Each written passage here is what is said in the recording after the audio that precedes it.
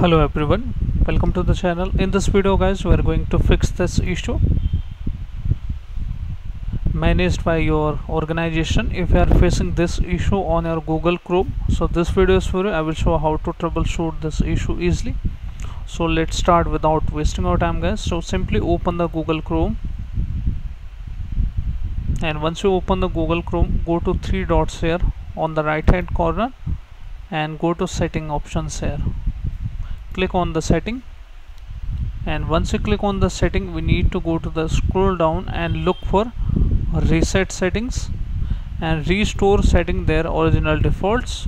And as you can see reset some google settings and chrome shortcuts disable extensions delete cookies and other temporary site.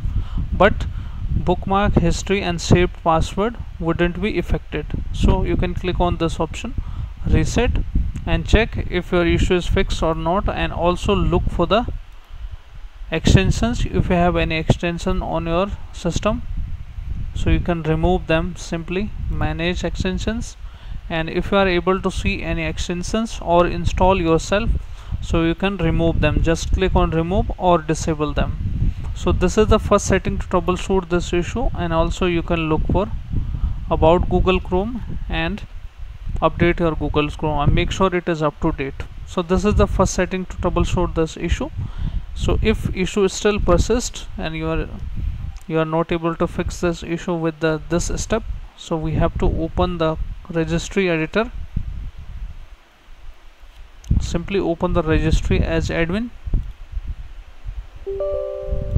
and hit your option when the prompt opens. And we need to follow this path guys this path you will get into my description box or you can manually go one by one. So how to navigate?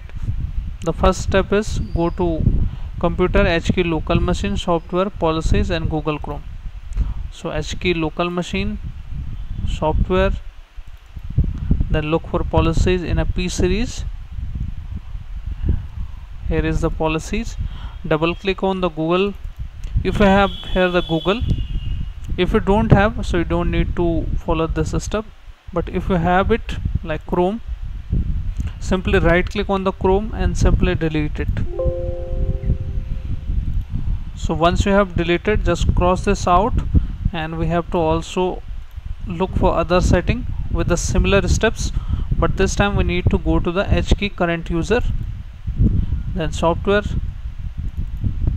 then look for the same policies and if you have the Google and the Google Chrome under it so expand that and simply delete that. So once you have deleted you have to reboot your system. So simply reboot your system from here and your issue should fix now. So I hope guys your issue is fixed after applying this method. If you are having still issue so you can reinstall the Google Chrome.